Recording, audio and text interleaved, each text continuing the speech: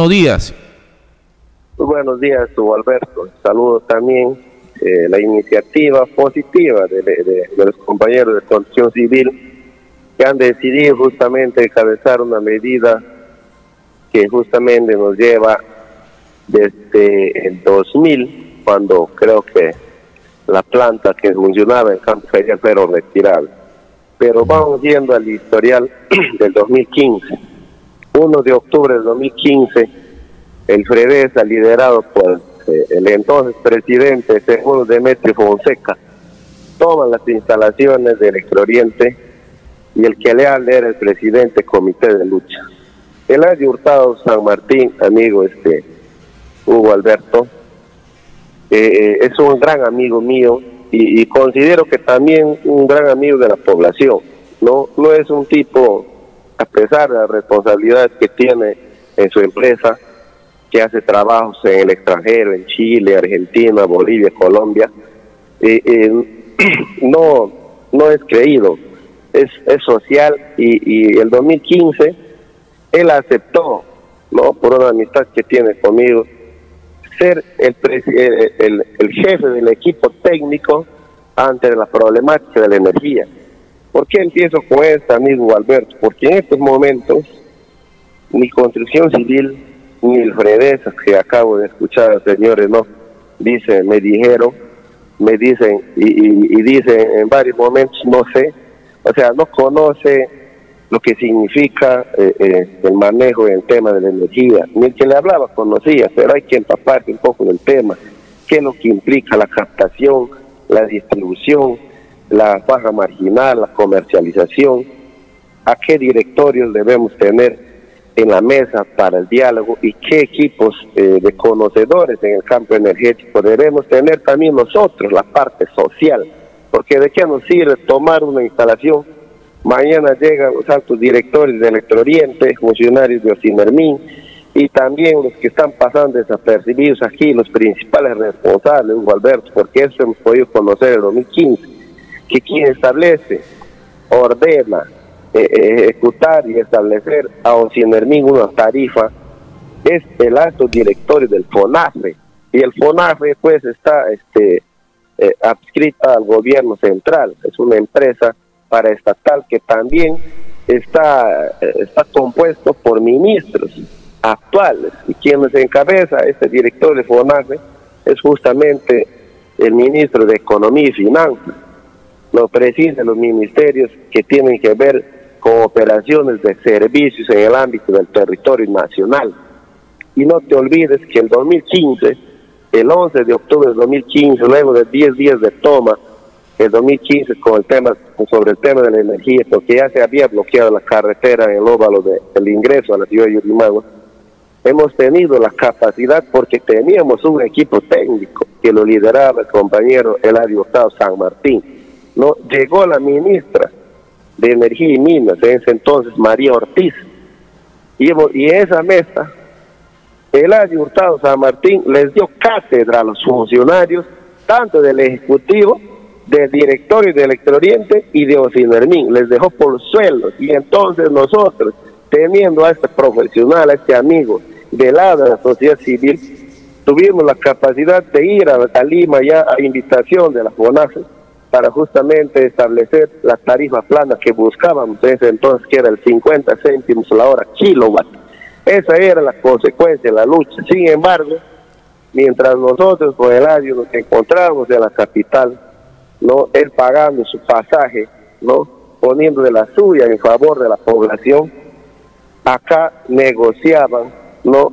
Los directivos del Fredesa la rebaja del descuento del 13%, cuando le digo que la lucha de las consecuencias era rebajar el 50% de la, de la hora kilowatt, porque en ese momento pagábamos cerca de un sol céntimo por, la hora kilowatt en zona residencial Imagínate en las zonas rurales donde estamos, de donde estamos llamando en, este, estos momentos, pagamos la energía más cara del mundo y eso ya no y eso ya no entra en debate en la mesa técnica. Nosotros lo que necesitamos es lo que se debería hacer, Hugo Alberto, finalmente es conformar un equipo técnico y ahí eh, eh, eh, ancla muy bien, porque lo conozco, fe de sus capacidades, y ese es su campo del compañero Eladio San Martín, ¿no?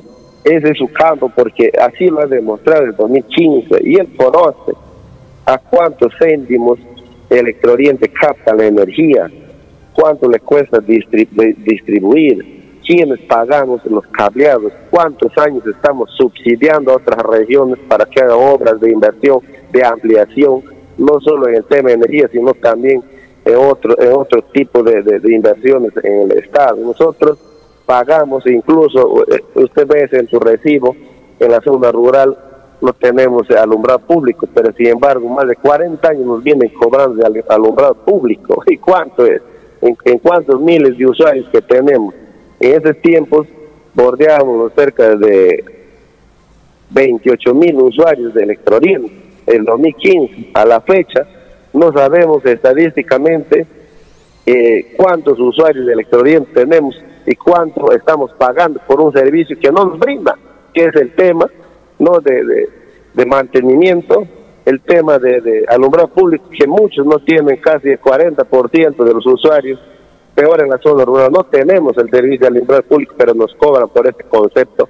Y entonces eso es lo que tiene que hacer el equipo técnico, tanto el FREDESA o de las organizaciones que deciden llevar a cabo una medida, porque mañana vienen, les van a agarrar como trapo viejo, Alberto. Eso, esa es la realidad, ¿no?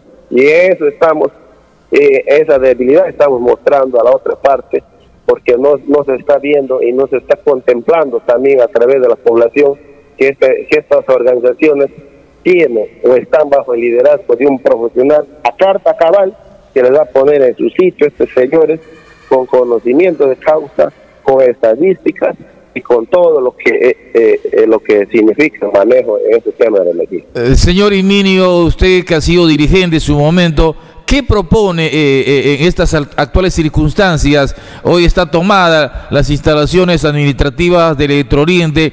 El alcalde ha emitido, me parece, un documento a, la alta dirección de Electrooriente.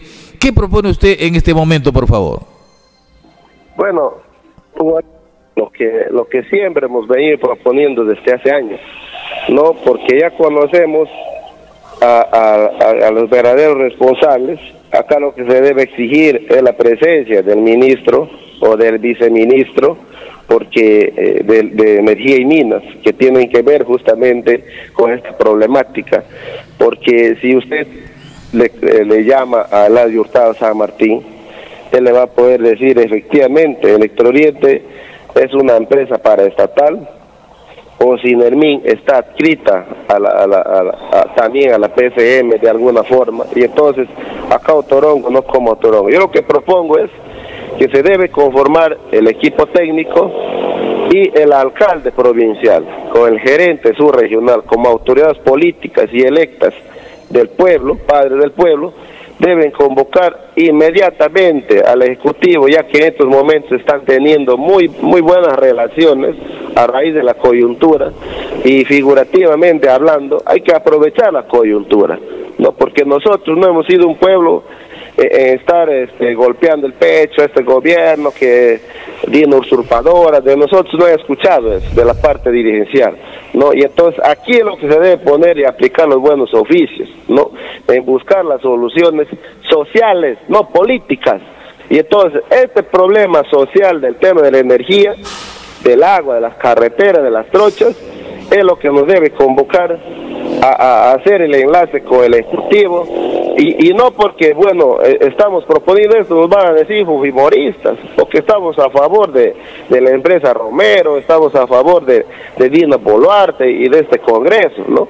Lo que estamos viendo es acá darle solución a una problemática social que justamente no es culpable, pues, este, no fue culpable ni Castillo, no fue culpable ni Dino Boluarte. Ya este problema data más de 40 años, ¿no?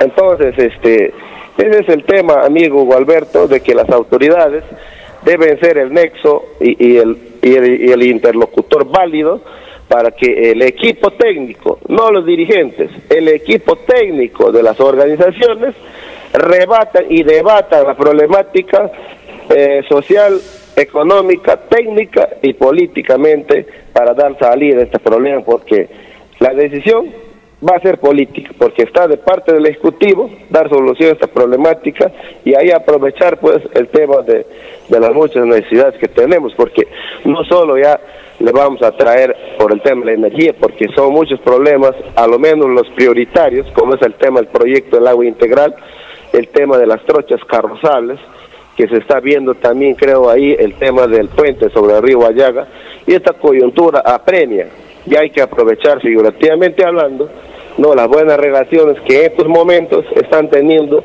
los gobernadores tanto de la región Loreto y de San Martín, con, con este Ejecutivo de Gobierno Transitorio. Según palabras del presidente del Frente de Defensa, Enox Saavedra, eh, me parece que los eh, funcionarios de Electrooriente rehuyen eh, para que se pueda hacer un trabajo conjunto para que vayan a la subestación y verifiquen realmente si están funcionando estos equipos que llegaron el año pasado a raíz de la situación grave eh, energética que vive Yurimaguas. Eh, se compró, el Estado peruano compró estos equipos y le entregó a Electrooriente porque es una empresa estatal. Sin embargo, no sabemos si estas están operando porque si están operando mínimamente el día sábado hubiese habido energía eléctrica en algunos lugares de la ciudad. Sin embargo, me parece que todavía tus equipos no están funcionando, lo que se llama eh, la reserva fría, señor Edminio. Alberto, y, no solo eh, no solo Alto Amazonas ha sufrido de, de los cortes del día sábado. Yo estaba en la ciudad de Tarapoto el día sábado, pero al toque se restableció esa región cerca de un minuto, quitaron luz, pero al toque se restableció la energía el día sábado. Mira, eh, eh, en términos generales, Hugo Alberto, eh, Electrooriente es una empresa que está que está este, manejada por el alto directorio del FONAF y los funcionarios que están como directores, imagínate, el director de Electrooriente Amazonas, San Martín y Loreto, es uno solo. o sea, tienes que estar a cargo de tres regiones y este designa gerentes, ¿no? Este designa gerentes a, a, Mainas, a la provincia de Alto Amazonas, a la provincia de Tocache, a la provincia de, Moyobamba, y, así eh, eh, ejecutivamente, ¿no? Pero sin embargo, vamos al tema del manejo funcional, porque aquí también yendo a la parte política, por eso le decía que el equipo técnico debe estar conformado de integrantes, porque acá se está viendo también omisión de funciones y eso conlleva a la destitución de los funcionarios que no están cumpliendo con su rol designado, porque ellos reciben un documento, no una resolución de nombramiento para estar al frente de una gerencia o, al, frente de un directorio, pero sin embargo, cuando ellos no cumplen la carta cabal, la ley también nos ampara como sociedad civil bajo el, lineamiento del control concurrente de que nosotros podemos denunciar la omisión de funciones de los que han sido designados y no están haciendo su trabajo. No podemos tener a alguien pagándole la plata que le pagamos nosotros mensualmente, ¿no? Y, este señor no está demostrando capacidades. Yo creo que eh, en buena hora los compañeros de construcción civil y mi único llamado es finalmente es que a través de usted también hagamos el llamado a nuestro compañero Elá de San Martín, una vez más que se ponga al frente como, como, eh, como, eh, como el principal eh, dirigente del, equipo técnico para llevar a cabo estas medidas que ya deben ser solucionadas, porque nosotros, el carretero Gualberto, tenemos conversación con el Ejecutivo y estamos ya, eh, podemos afirmar de que el día 15 de febrero se va a dar una, una reunión de alto nivel con el Ejecutivo en Caserío de Grau, kilómetro 40. No, ¿por qué? Porque ya lo hicimos el 11 de septiembre del año pasado en, en San Juan de Pamplona, en kilómetro 35. Ahora nos toca esta segunda reunión tener respuestas también del Ejecutivo ya eh, eh, eh, este 15 de febrero en el grado kilómetro 40. Eso es lo que yo le puedo dar a conocer y lo que les puedo sugerir desde mi humilde opinión, de mi humilde conocimiento, para poder buscar una solución a esta problemática, compañero. Le agradezco su participación, señor Imiño. Muchas gracias. Muy buenos días. Bueno, en realidad, este... El